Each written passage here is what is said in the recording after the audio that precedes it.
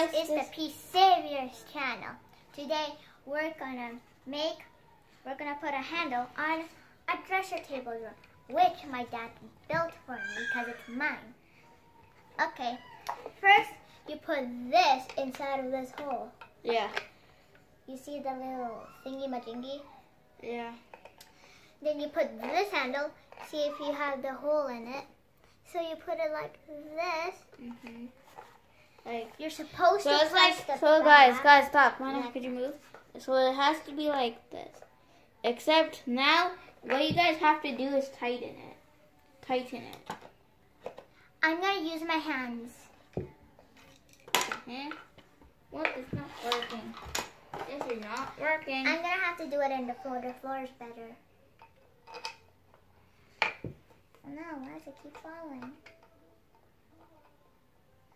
Working. It. So you're supposed to spin it clockwise till it gets to that limit.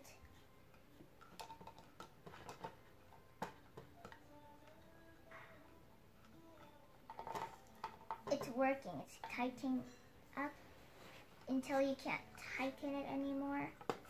See? This is how you make a dresser table. Look inside. See that? Look at the back. Really wood. So, we're to show you the desk. Yeah, we're to show you the desk. I, dresser table, sorry. Okay, let's show you. So here is the desk that my dad built. So we're gonna put the drawers inside of these little things. I don't know if you can see mine. Yeah.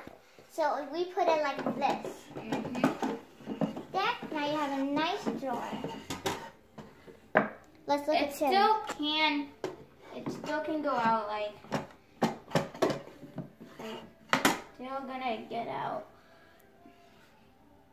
Like that's a problem, but who cares? Yeah. Like so, that.